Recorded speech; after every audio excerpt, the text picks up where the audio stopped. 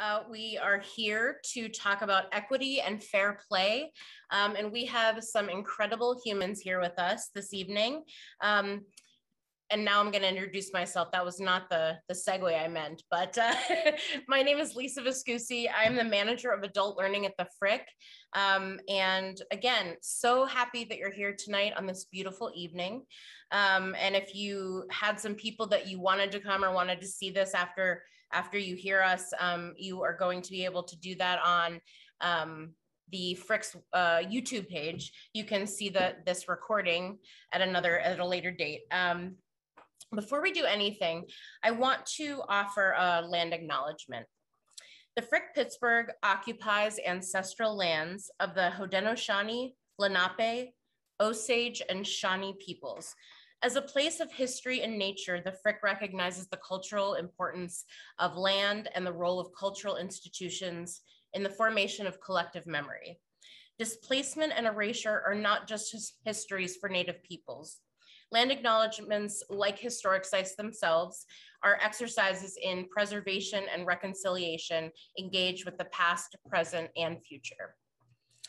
Um, so uh, I have so many people to introduce. I'm very excited. Um, but I also want to point out before I do that, that you are able to see closed captions on your screen. There was an instruction at the beginning that showed you how to do that. And um, they should be on right now. And if you, they're in your way for any reason, you, you can hover over them and move them around your screen. Also, we're gonna be um, communicating via chat this evening and I see there are two chat, uh, two, two messages in there. Um, and you can ask questions, make comments. If you need any technical help, you cannot see her, but she is there behind this behind the scenes. Amanda Gillen, my lovely colleague, is here for uh, to support us, um, and will also be able to help you as well. And there will be a Q&A at the end. But if you have questions, you're, you're welcome to throw them in the chat at any time. If it's the right time to answer them, we will do it. Um, otherwise, we will, we will do our very best to get to them at the end. And and that is all for, for the logistics. Um, before we get to our panel discussion, I want to invite, well, first, let me invite everyone on the panel and Heather Arnet to come to the screen, if you will. Um, you can turn on your videos and your audio. Hello. Good evening, friends. Hello, friends. I kind of want to take like a one of those collage pictures of us, like frame it. Um, so Heather Arnet, hi Heather. She is a an incredible human, um, and we're lucky to have her here in Pittsburgh. Um, this program, along with two upcoming panels, um, one in which Heather is the moderator for, um, on September 9th and September 16th. They're part of a partnership between the Frick and the Women and Girls Foundation in Pittsburgh.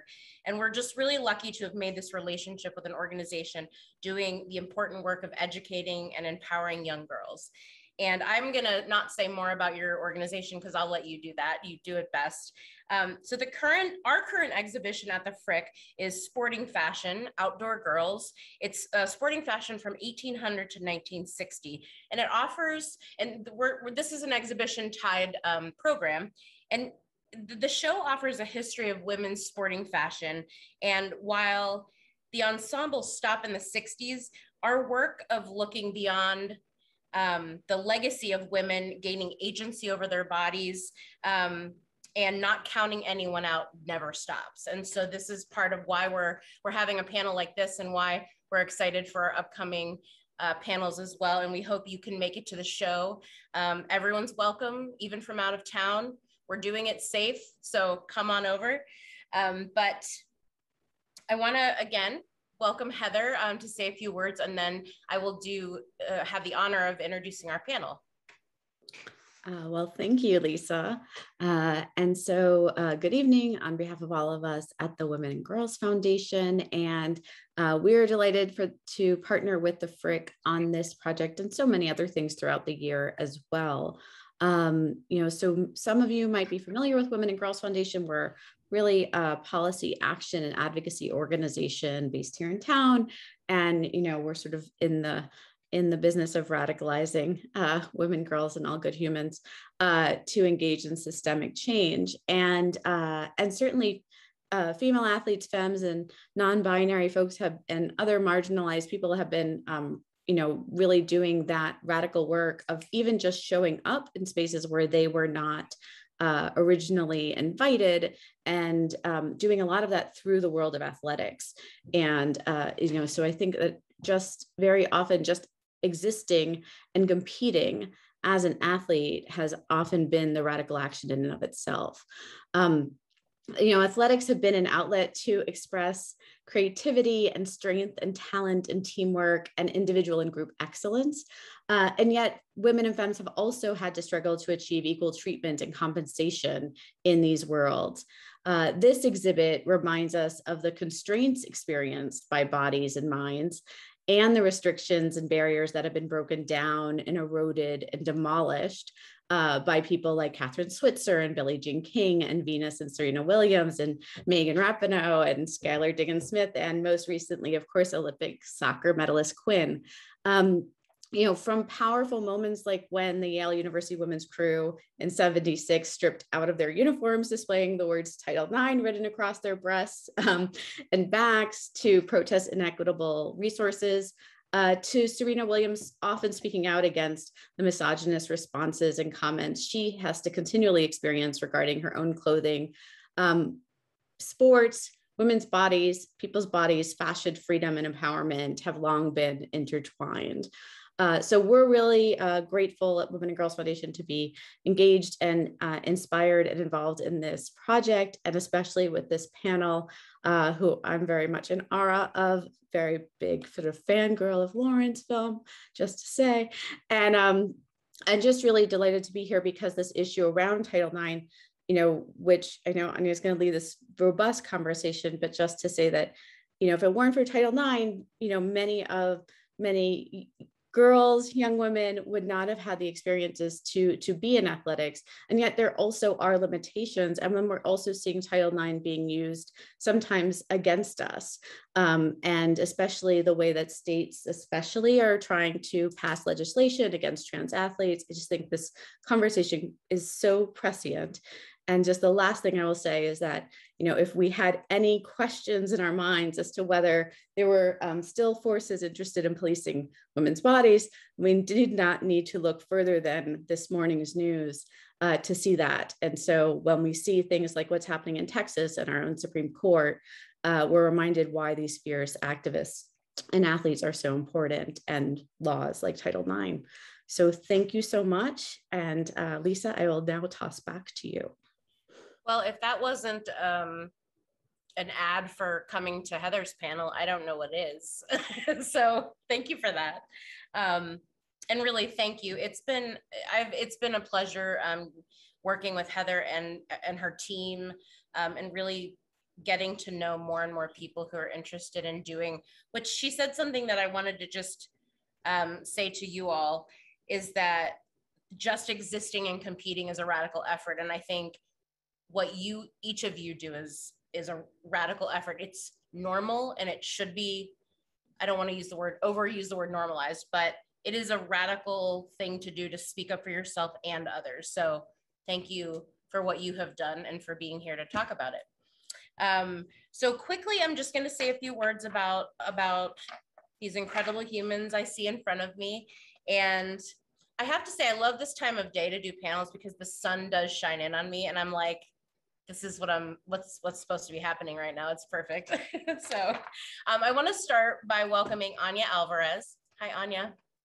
She is our illustrious moderator today, and um, we came to her through um, a wonderful Pittsburgh presence. Natalie Bencivenga and Heather Arnet um, brought Anya to us. So we're, we're really excited. And then she, in turn, brought Sally and Lauren to us. Um, she is the CEO and, and please all of you, correct me if I'm wrong about any of your details because it's your life. Um, Anya is the CEO and founder of Major League Girls Creative Lab. and is a former LGPA pro with a background in content development. She was the head of content and digital at Athletes Unlimited, and she's worked with everyone from the LPGA to the WHL. She's been a speaker at South by Southwest, and she is passionate about storytelling in women's spaces, which is why she is our moderator this evening. So welcome, Anya. I want to say hi to Lauren um, in Chicago, and Anya's in DC, and Sally is in Colorado. I got That's it. right. So see, we're coming from everywhere. That's why I like online sometimes. Um, Lauren is an activist, an author, and a pioneer in a new frontier of gender awareness and equality as producer of the documentary We Exist, Beyond the Binary, a film exploring life outside the gender binary. Her work sh uh, shatters traditional antiquated constructs that defy gender as either male or female. The conversation around this project started uh, and also an international We Exist movement, which allows those who exist outside the gender binary to also stand up for their recognition. And her work also extends into the athletic arena. She was a Division One basketball player at the University of Colorado. Yes. Is that correct? Yes. That's correct. Um, and she is an avid runner and activist. She made headlines in 2015 with I'm sorry, Lauren made headlines in 2015 with their We Run campaign, which advocates for equal space and recognition for non binary athletes in the world of sports. Thank you, Lauren. Welcome. Thank you. Welcome, welcome. You got almost everything right except my pronouns are I know. there. I have it here. I was going to actually say something. So it's fine. I, this is a wonderful learning moment. It is. what, it a, is. what a great kickoff to the panel. Here Thank you. I'm so glad I messed that up. Uh, no, no, I actually heard myself saying it, which I don't know why, because I have it written down, and I also am aware of you, and so this is why we're here to learn, right? Exactly. I'm not turning red. Education in action. What's that? What'd you say? Education, so education in action. Yes. yes. um, and finally, we have Sally Roberts. Hi, Sally. She's the uh, speaker and an author and is a former elite wrestler and combat veteran and the founder of uh, and CEO of Wrestle Like a Girl. Sally was a resident at the Colorado Springs Olympic Training Camp for eight years, during which she was a three-time Olympic national champion, a World Cup champion, and two-time world bronze medalist, and an Olympic alternative, alt, alternate. Uh, serving six years in the Army, she volunteered for deployment to Afghanistan. She was also a member of the Army's prestigious world-class athlete program and represented the U.S. Army and Team USA in elite athletic competitions. Thank you for having me. You're welcome. You have all done so many things. I think we can go now. Um, no. and I will turn it over to Anya um, to start off this conversation. Thank you. Thank you. Thank you. Thank you for having me. And I'm, I'm excited to be here with two of my friends that I've gotten to know through the world of women's sports. And um, it's, it's always great to see them, even if I can't see them in person. Um, so yeah, I, Lisa, I, you, you did a great job summarizing uh, my background. I, little a little bit more background though i have um yes I played golf professionally for several years played collegiately and as the as the topic of this panel it's it's really uh, resonates with me because without title ix i wouldn't be where i am now and would not be doing the type of work that i'm doing now without the opportunity to play sports and to be able to play a full on a full ride in college at the university of washington. So that definitely opened up a lot of doors and pathways for me that otherwise i likely wouldn't have had and because of that, I've gotten to meet remarkable people like Sally, like Lauren. Um, I've gotten to doing really cool things like travel to Pakistan with the State Department and learn about uh, gender equality programs that they've started to initiate there through sport. And so I think this is a great opportunity for me to learn more from Sally and from Lauren and the work that they're doing. And I'd love to pass it off to Sally first to give a little bit more uh, background on some of the stuff that she's done. My name is Sally Roberts. And so, Wrestle Like a Girl, it, so I wrestled. I had a lot of success. I was in the military, a lot of success. And when I was actually deployed to Afghanistan, I got to interface with young girls that looked just like you and I did when we were younger. And I knew that when I came back, I wanted to have an impact. And I wanted it to be supporting girls and women, just like those girls that I saw in Afghanistan, but just like the girls that we see all the time here in the US. And that was where the seed of concept for Wrestle Like a Girl came from was um, that whole notion, bloom where you're planted. And what a better way to bring this combat sort of spirit that I have from all of these different worlds eh, to life is by being a CEO and being able to be this really staunch advocate for women and girls and recognizing that there's spaces that we need to have women and girls and there's going to be leadership um, and leaders that come from that.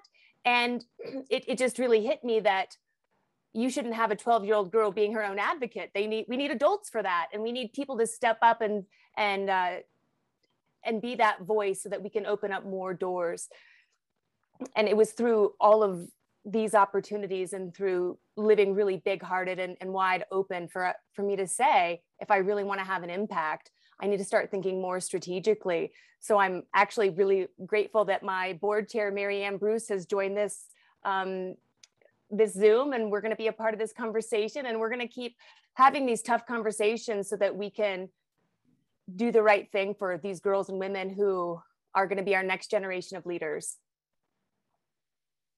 and Lauren, I'm going to pass the ball to you. Uh, that figuratively and literally. I actually have a, a, a background in, in, basketball, as Lisa um, mentioned, and I, you know, I, I come here obviously with um, you know over 10 years of uh, experience advocating for gender identity, specifically um, non-binary and, and, and trans folks, but I'll have to go back all the way to the very early beginning. And I've had a conflicting relationship when it comes to identity, but probably the first identity and whole identity I ever formed was at a very young age, and that was I am an athlete.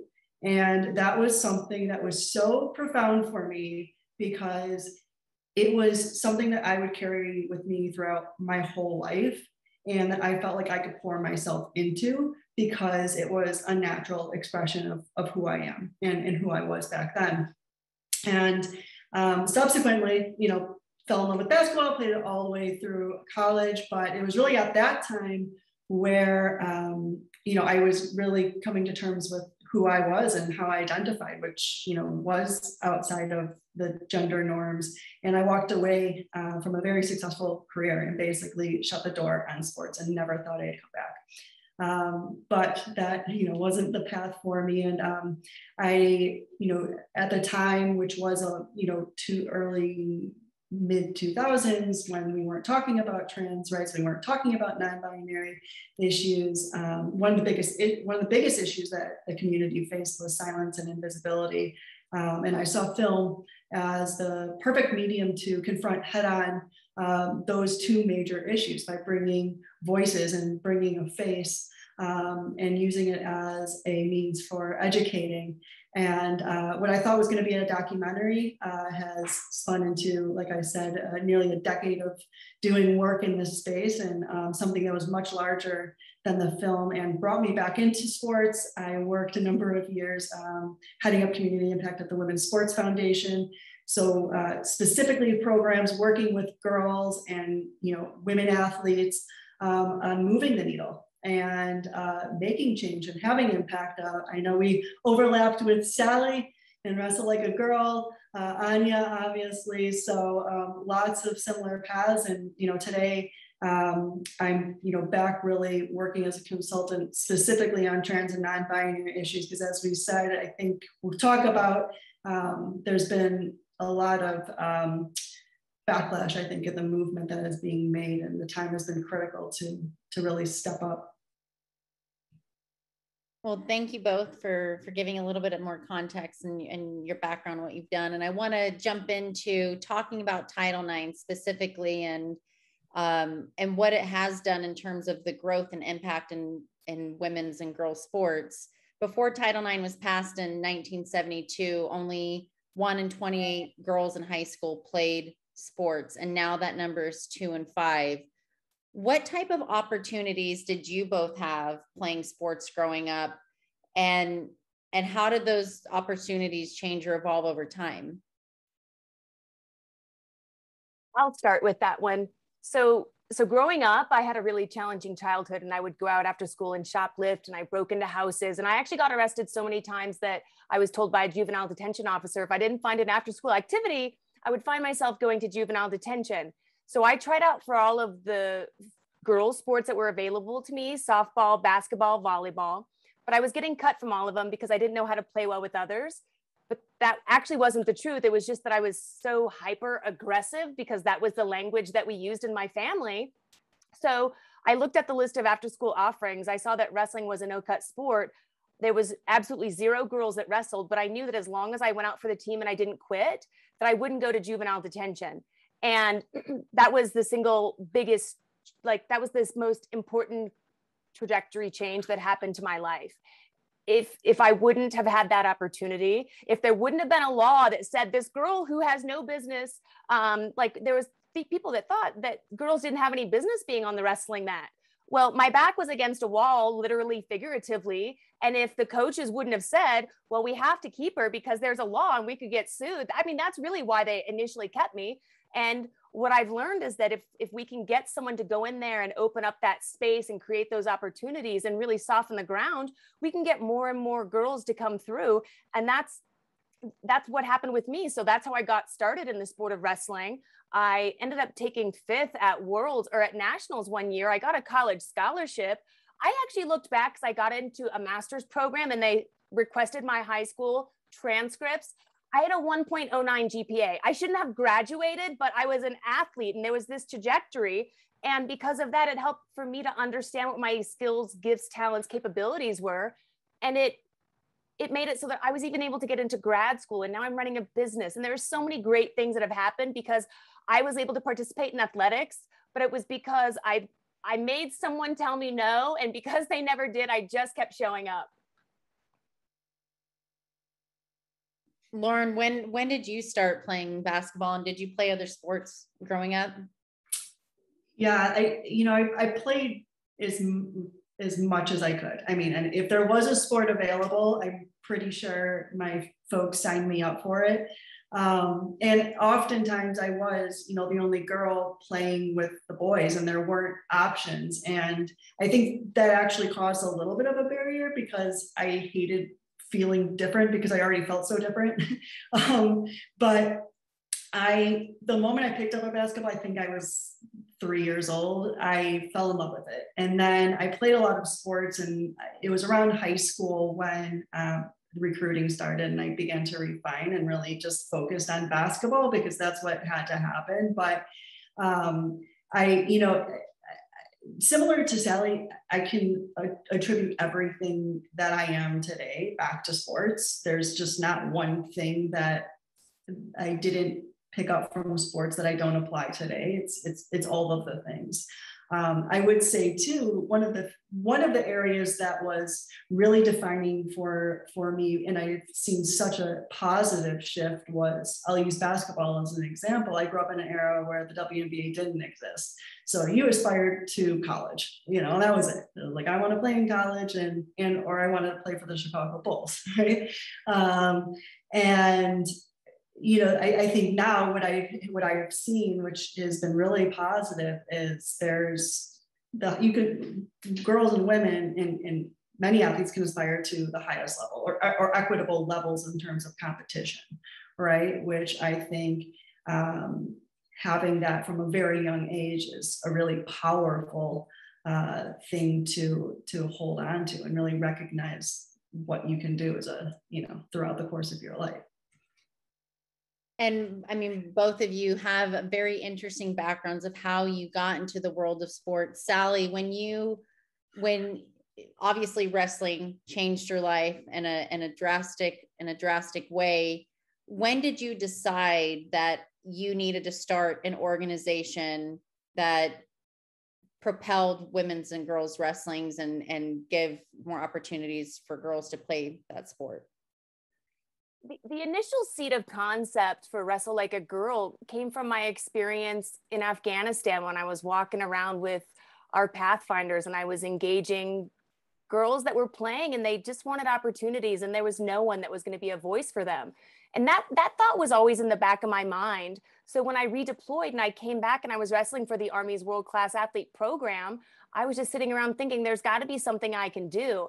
And I didn't have I didn't come with an MBA background. I, I, came from a background of athletics. And so I really had to lean on a lot of the people that I knew to get the organization going. But I'll, I'll tell you, like, even where the organization sits today, Wrestle Like a Girl, we're the national advocacy organization for girls and women in the sport of wrestling. We initially just started out doing camps and clinics. And the girls would come to the camps and say, We had so much fun, but what do we do now? And I would say, Well, now you can go wrestle in high school. And they're like, Yeah, but they're not letting us wrestle in my high school. And I said, Who's not letting you wrestle? And so we, I was like, Well, how hard could it be to be an advocate? Let's just, let's just start doing the work. And from there, they said, well, but we want to go, we want to go to college, but we we need help. Like, how do we go to college? So that's when we embarked on the journey of getting NCAA emerging sports status. And I thought, well, how hard could it be? And we just took the task on and started to really provide opportunities for girls and women and, and bringing the voice of the girls and women into it.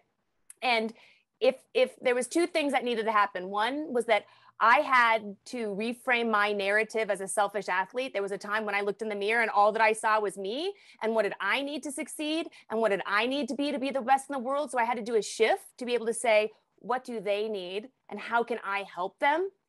And then the second piece was that I, I really had to be fearless. Um, I am so grateful at my naivety when it came to starting a business. Uh, but I'm also incredibly grateful that as athletes, we surround ourselves with some of the best brilliant minds that we can have. And it's through that teamwork that we start to really raise the level of what it is that we can do, what we can be.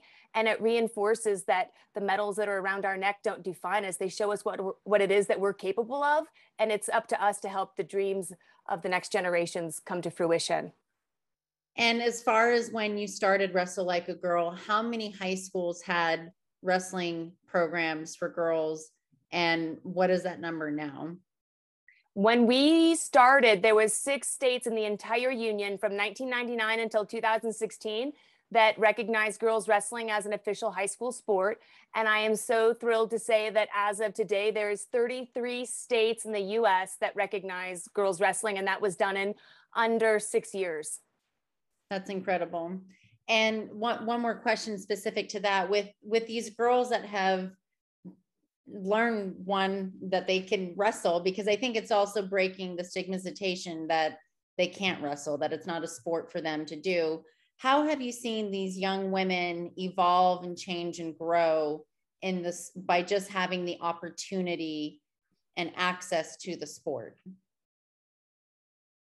Opportunity creates interest. So once we were able to get some laws and policies changed so that we could open up these um, opportunities for girls to participate in wrestling, it's it's really been transformative. And I'll tell people that are not on this panel and they'll be shocked, but to tell you all and to tell the people that are listening, I mean, we have girls that are graduating they're going they're finishing high school because there's a reason for them to stay engaged. We have girls that are going on to college for the first time ever because there's collegiate opportunities and they're no longer having to sacrifice between athletics and academics. And they can now choose both just like their male counterparts would have done.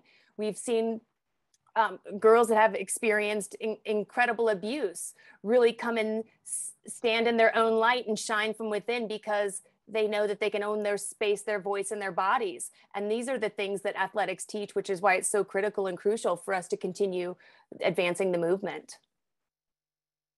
Lauren, and your background I, I, find really interesting as far as how you ended up getting back into the world of sports. When when did you first start working with the Women's Sports Foundation? And how has your uh, advocacy around trans and non-binary athletes? What what type of work did you do with WSF with trans and non-binary athletes there? Uh, that's a that's a great question. So um, is actually what there there are a lot of parallel paths that kind of led to the Women's Sports Foundation. I would say one of the more defining moments was, um, and, and something I'll never forget was uh, when Billie Jean King and her partner um, Ilana Kloss actually came to the film premiere um, of We Exist Beyond the Binary, um, which you know, obviously was a significant moment on many levels. You know, the, the film confronts the intersection of sports and, and gender identity.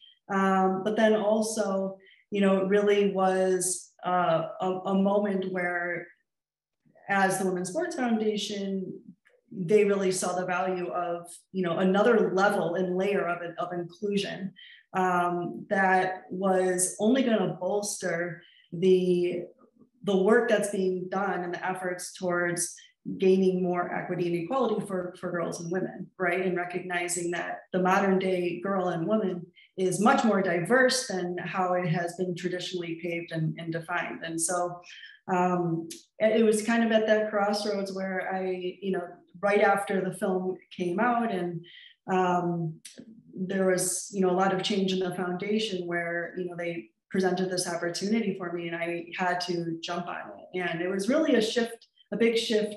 Um, you know, Sally, as you said, from like looking inward and then to looking outwards, a big shift for me saying, I don't belong in this space. You know, this space doesn't doesn't include me to what can I do in this space to make it more inclusive, right? For everybody who belongs to it. And it was a really big shift uh, in, in my life, both personally and, and professionally.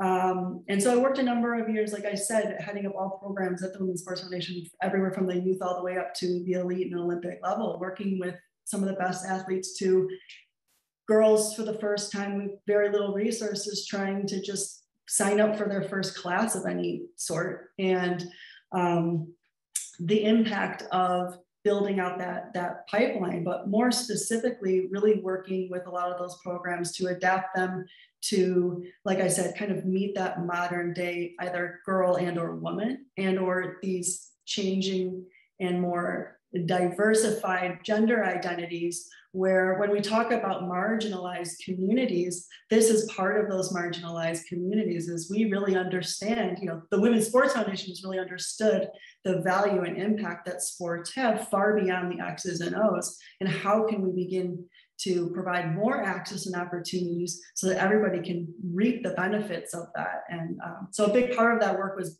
being able to kind of expand upon those programs uh, so they can be more inclusive um, in today's in today's world. And and I, I feel like I'm going to know the answer to this, but uh, obviously it seems like having more access and more diversified groups feeling welcomed in the space of sports strengthens sports overall and and helps and helps i think people connect more too if they're able to connect to each other through sport yeah 100% and we're i know we're gonna you're teeing up you know some other great questions when it comes to like diversity across all levels whether it be from like coaching to volunteers all the way down to the participants who are playing yes diversity strengthens everything. And, you know, Sally, I'm going to throw this one to you because I think that you have the best example of girls entering the sport of wrestling and what that's done for the sport. Yeah. When when Title IX first got enacted, there was no female equivalent to the male sporting opportunities. The sports that really dug in and invested in the women's opportunities, they saw up to 200% growth um, this in this current day and age. The sports like wrestling that did not find the value or they didn't see the future with girls and women in the sport they weren't they weren't pushing it. Um, wrestling at one point was down 250% like schools were dropping it because there was no female equivalent and title ix was a it was really being taken seriously. Uh, and so now that we have women coming into the sport. We now actually today just got another school added at the collegiate level. There's 99 colleges in the US that offer girls and women's wrestling. And that's profound. And just as awesome, for instance, this year alone, we're going to have a Wrestle Like a Girl night at Penn State University, at Oregon State University, and at Ohio State University. And it's going to be for men's wrestling. Like they're recognizing that there's value in including others because it strengthens our sport, it strengthens our communities, it strengthens our nation. And we get that because we learn how to work together cooperatively in a space that, that allows us the space and the grace to really figure out how to, how to work with others. Lauren, um, this past year we have seen about 140 bills proposed in state legislatures that target trans athletes, trans transgender kids specifically, um, and a large of those, a large chunk of those bills focus on youth athletes in sports that are transgender. Um, they're arguing that these bills are doing this to protect women's sports and that Title IX justifies the exclusion of trans women in sports because trans women are biologically male. And therefore, it takes away opportunities from women and girls that Title IX intended to protect. Why do you feel that there is such a large focus on transgender athletes by legislators? And what type of harm does this do these type of bills potentially cause in the long run? You served me up a good one there, uh, I'm gonna. This this is like a college like mass dissertation, but um, I I'm gonna do my best here. And honestly, like I'm just gonna get frank with this because with these types of questions, you, you really have to.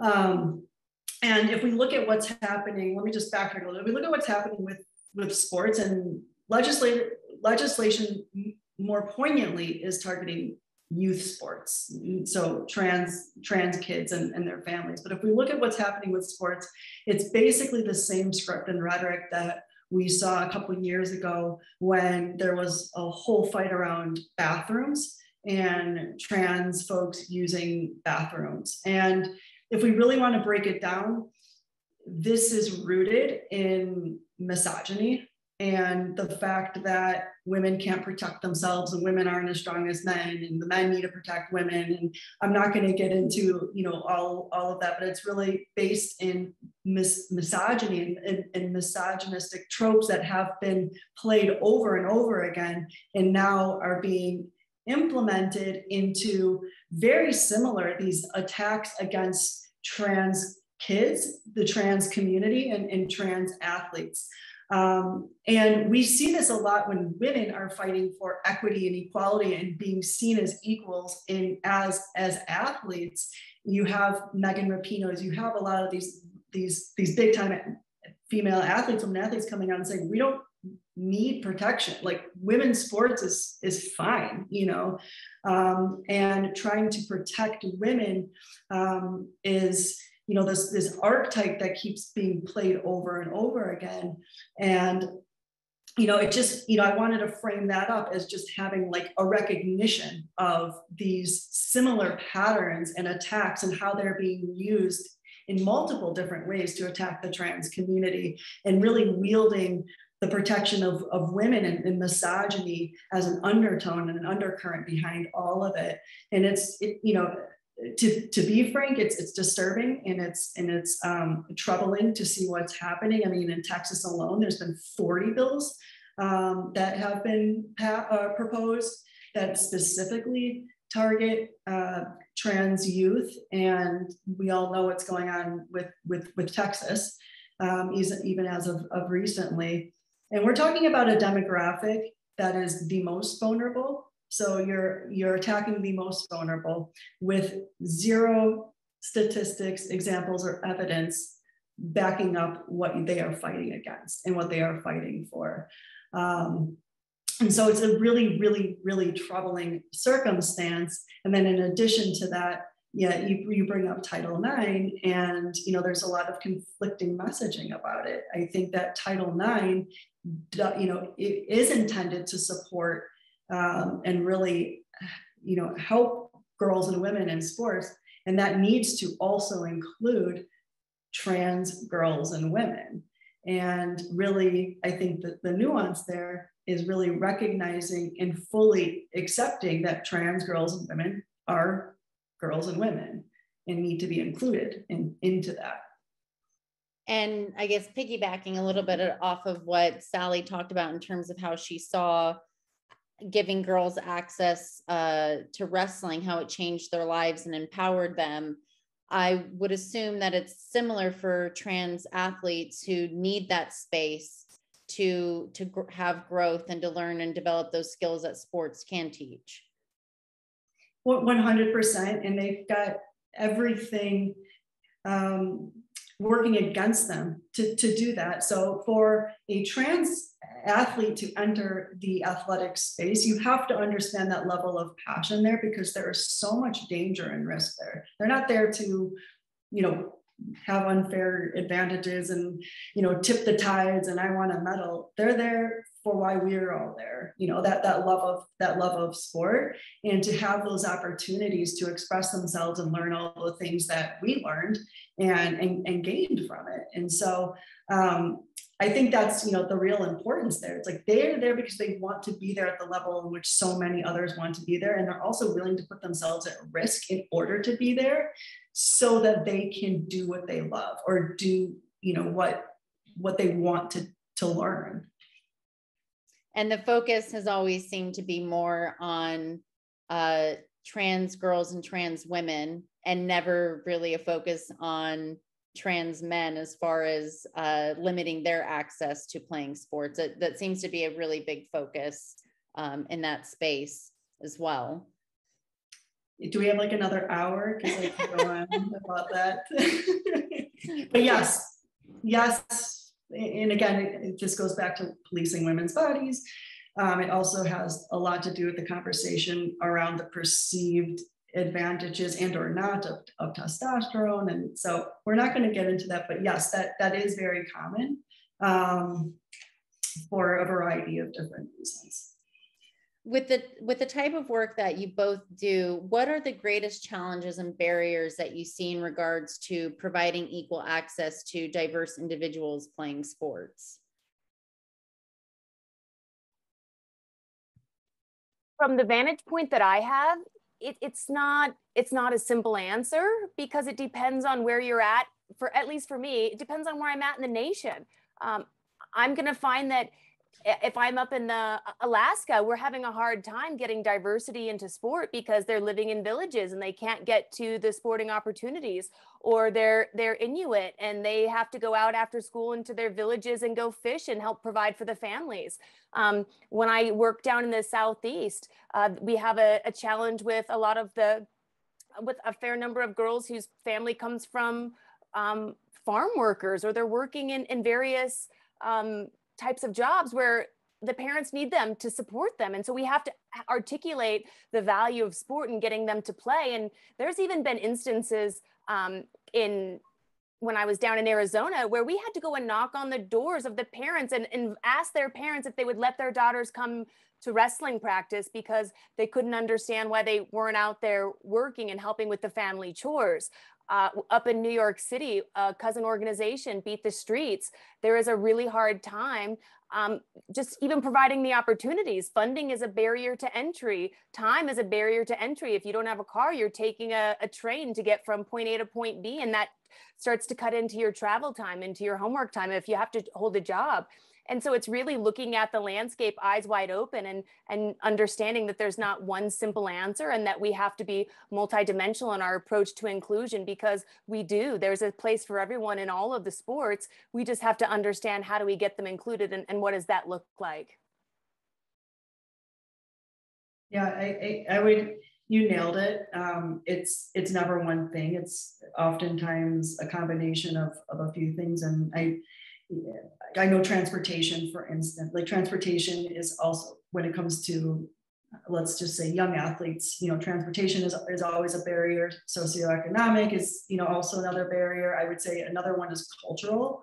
Um, there's a lot of, you know, especially when it comes to young girls, like in, in different cultures, like there's been a lot of, you know, I've done a lot of work and had multiple conversations about having to convince the family that they can play sports and that they should be allowed to play sports. So, you know, I would also say more specifically when it comes to non-binary and or trans folks, um, just the simple opportunity to register um, is a massive barrier. And then the other one, I mean, oftentimes there just aren't opportunities to register.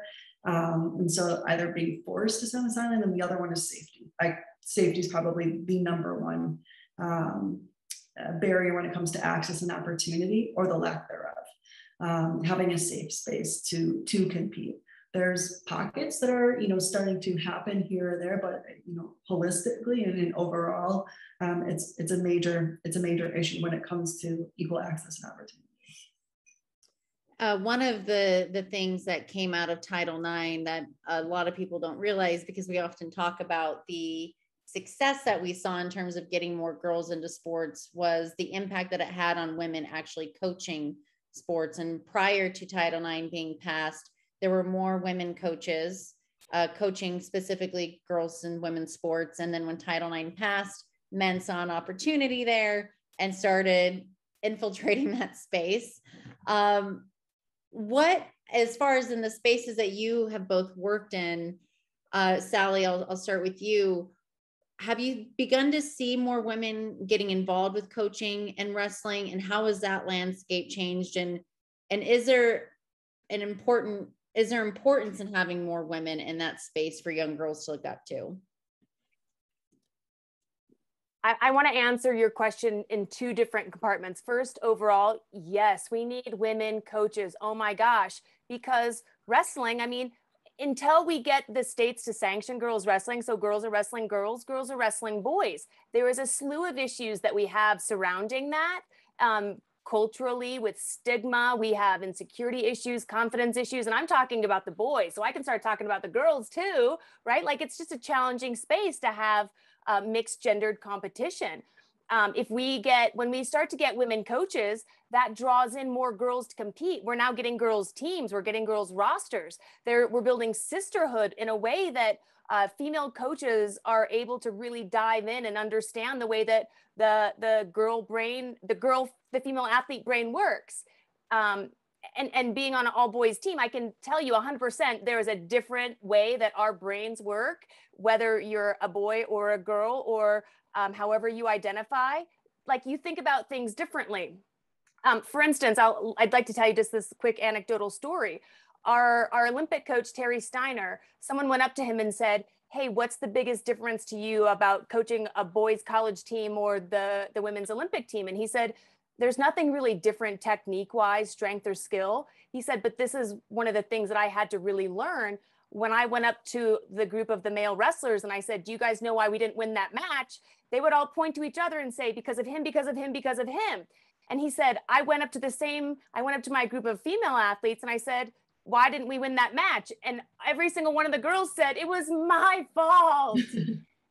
and when he understood that difference in thinking, he was able to become a better coach and help cultivate that. And I found that uh, maybe maybe some of our male coaches have had to learn that but our women coaches they already know like hey they're going to definitely take on a lot emotionally because that's sort of how we're hardwired um, so that's that's one facet of it but i would say the, the second facet is that as we were going through the ncaa emerging sport process I picked up the phone. I called the other emerging sports, equestrian, rugby, um, triathlon, and I said, if you could do one thing differently, what would you do and why?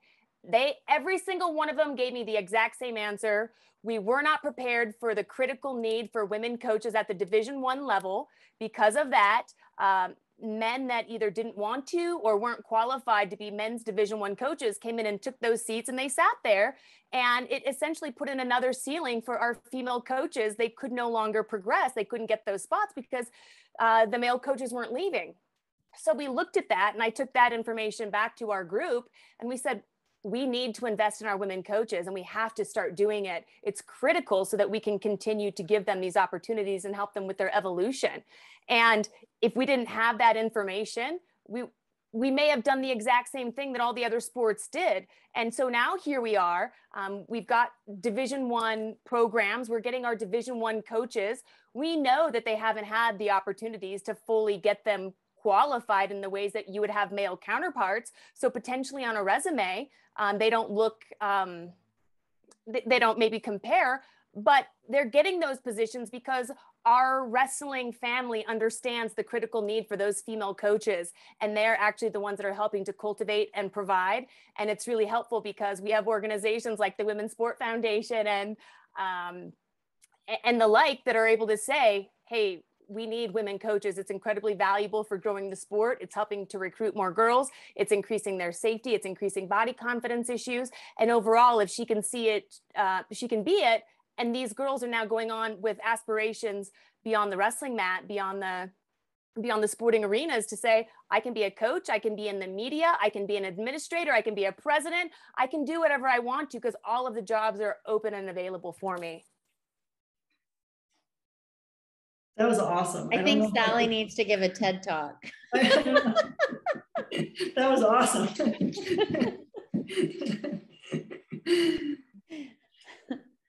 thank you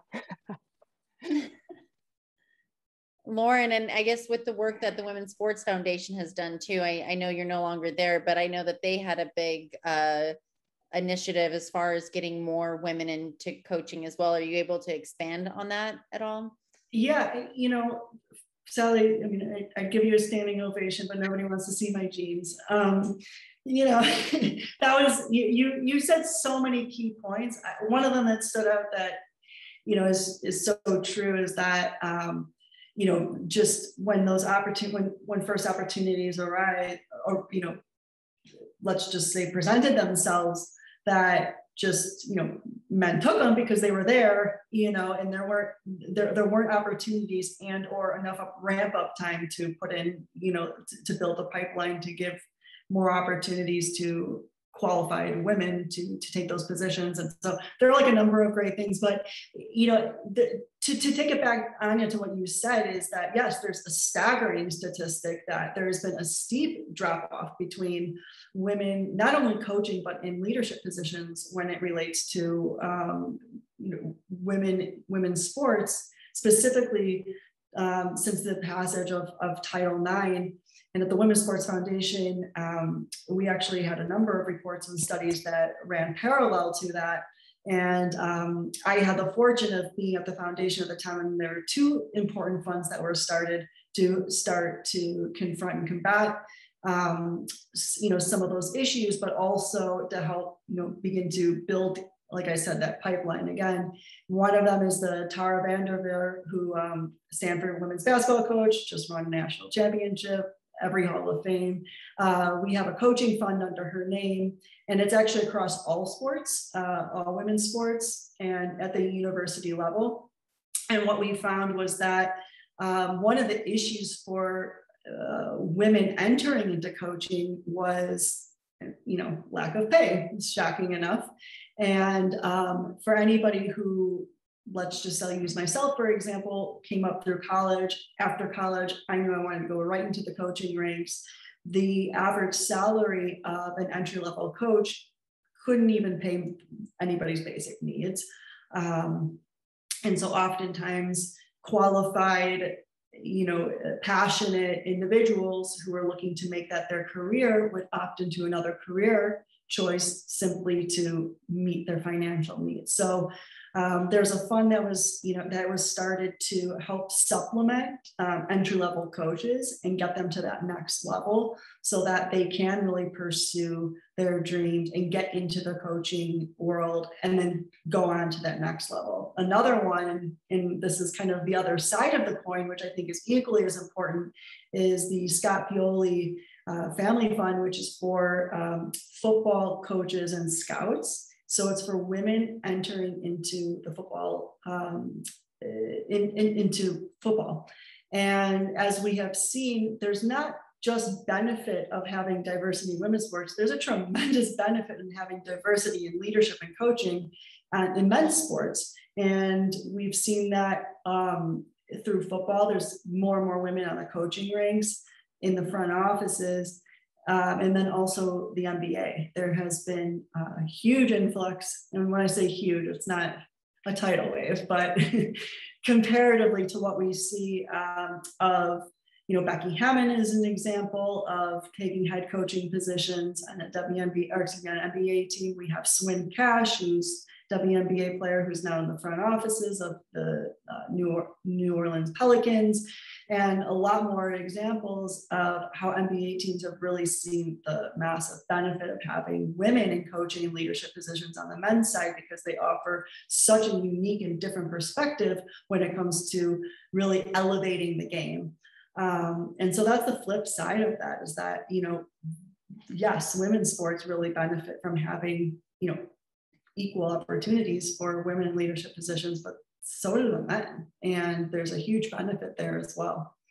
Yeah, I think oftentimes in terms of the way that we position or talk about women in sports is that it's meant to be inspirational and aspirational for other women, but there's obviously something really positive that comes from men and young boys seeing women in leadership positions or even being coached by women um, at a very early age and seeing that it's possible for them to to learn from these women and be inspired by them that women don't only have to inspire women. 100. Um, we're we're getting close to to wrapping up, and so I want to make sure that I uh, leave any just a little bit of time for questions that people may have for Lauren and Sally. I see one question in here, um, and it's from Mark Freeman, and he wants to know if either one of you had the chance to meet uh, playwright Jessica Dickey, who uh, wrote a play called Charles Ives take Charles Ives Takes Me Home, which explores the father-daughter relationship against the backdrop of high school and college uh, women's basketball in the 1970s before Title IX. I have not heard of this, and so I'm glad it was brought to my attention. I have not, but I'm going to follow that link to learn more. Yeah, me too. Me too. Yeah. Likewise, also following. yeah. Um, if anybody doesn't have any other questions, I want to just first say thank you both for giving us your time tonight and your insight into the different spaces that you both work in. It's very valuable for me to learn, even though sometimes I feel like I know everything in this space. I, I talk to people like you and I realize there's still a lot to learn. So I appreciate both of you so much and I look forward to continuing to see the work that you do in the future. Thank you. And if I may take one bold stand, we're working on getting girls high school wrestling as a sanctioned sport in the state of Pennsylvania. So if any of you happen to know athletic directors, I encourage a phone call just to say, hey, have you thought about adding a women's uh, wrestling program? There's over 400 girls wrestling in Pennsylvania. Thank you. Lauren, anything that you want to plug? Um, I'll plug one thing that I'm doing that's really interesting. One of the clients that I'm working with, um, so 2016, I was the first openly non-binary uh, person to run the New York City Marathon. And as of this year, I'm working with the organizers in the New York City Marathon to build out a non-binary category in all of their races, including the New York City Marathon, um, which is a, a, it's a really large step for sports. Um, and obviously very you know personal, but um, what I think is going to be at the beginning of a lot of progress when we talk about that next level of, of inclusion. And uh, they're really work leading by example here. So um, be on the lookout for that. And um, that's that's all I got to plug right now. Oh, and go watch the film if you haven't watched it. I was and remind people the name of the film. Yeah, it's We Exist Beyond the Binary, and you can go to weexist.co, co, which is the film's website. You can also rent it or buy it on Amazon. I was going to say, if any of you, I, I want to tell everyone, um, I think we know who we're going to start following now um, for just sort of inspiration and information. And so if you have anything you want to throw in the chat, Anya, Sally, and Lauren, so people can can find you, um, there it is, weexist.co. Um, you can throw it in now, or we can also share that out later. Um, we're going to follow up with a survey. And so we can, if you, the three of you want to share that with me, um, I will, I will make sure everyone gets that. Um, Sally, are you going to say? Oh. I'm, no, I'm typing in this box. Look. Oh, you, you did it. There it is. Twitter, Instagram, um, but we will we will send all that out and make sure everyone can get to you to each of you um, in as many ways as possible because this was um, this was exactly the conversation that I think I I wanted and knew was coming, and it just feels really great to to have had the three of you here. Um, we are we are very lucky to have a space where um, we are not only allowed but encouraged um, and and have sort of the the backing of, of um, our community and our leadership to continue to have conversations that matter. Um, and I'm grateful for the three of you to be here with us, and we're going to continue to do that. I promise that. Um, and I'm happy to have made uh, three new friends for the Frick. So um, thank you, Anya, for your leadership and, and your and your mod, uh, moderating the panel, and and Sally and Lauren. It's been a pleasure, and we're again lucky to have had you here with us in this space. So best to you. Feelings mutual. Thanks for everyone. for Thank you. joining. Thank you. Thank We- you. We hope we'll be seeing each other again then. I hope I hope we see you again sometime. Yes. Um, have a great night, everyone. Uh, if you want to watch this again, because I'm going to and take a bunch of notes. Uh, like I said, you can find it on. You can go to the Frick website. You can go to our YouTube page, uh, social media. You can find it somehow. And have a lovely evening, everyone. Thank you so much. Thank, Thank you. you. Thank you very Bye. much.